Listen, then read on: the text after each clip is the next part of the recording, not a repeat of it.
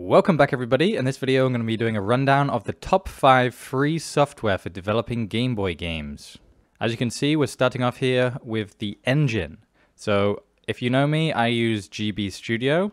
That's mainly because it's a drag and drop based game engine. I don't consider myself a programmer so the fact that this has everything built in and like it's quite obvious to figure out and if you can't figure it out, I have obviously tutorials on my channel. But yeah, this is how I create my Game Boy games. But also, if you were thinking of making something just code, I would uh, look at GBDK, which I believe stands for the Game Boy Development Kit. As this is an alternative to GB Studio that you might like, but for beginners, I definitely recommend GB Studio. Although GB Studio is free, I definitely recommend when you download it on itch.io, donating some money just so that we can support the developers of these. And I recommend supporting the developers of all these softwares. I think that most of them are open source, meaning you can, you know, freely change and update anything. I definitely stand behind software like that. It makes it really easy to trust and it means it's normally community led as well, where you have a say. So moving on to graphics, if you know me, I use GIMP.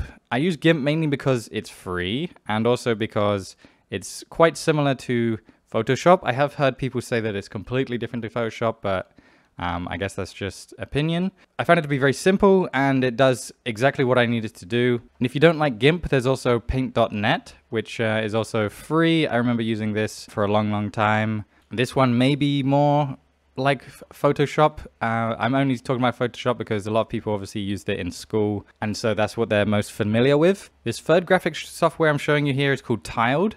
It works almost exclusively in tiles, and if you didn't know, the Game Boy works in 8x8 pixels, and that's why it's important. That's why tiles are important. If we were to use Aseprite, which is a paid program, it would be able to do what GIMP and Paint do and what Tiled does all in one program. But basically my workflow is export a tile set from GIMP and then import it into Tiled, which then, like this image shows here, has a tile grid and you can, can create tiled backgrounds, which is basically how you optimize your Game Boy games is by making sure that you are using repeating tiles rather than every single tile being unique. So definitely look into this. I'll now be moving on to music. So although GB Studio 3 now has a built-in music tracker, you might also want to consider working outside of GB Studio.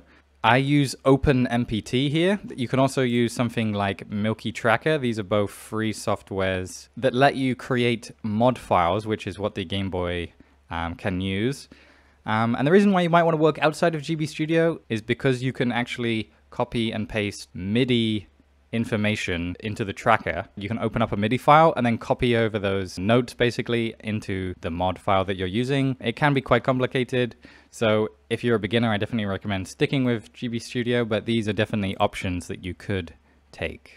So going beyond actual development, I obviously also make videos about my games and you might want to too. So to record my screen, I use OBS Studio, which is free. And I think, for example, Streamlabs is based on OBS, and this is obviously just like the simple original version that's open source. It's quite simple to understand. You might have to, you know, look at a tutorial to get through some of the settings if it's not working exactly how you expected, but it does the job perfectly. It's completely free.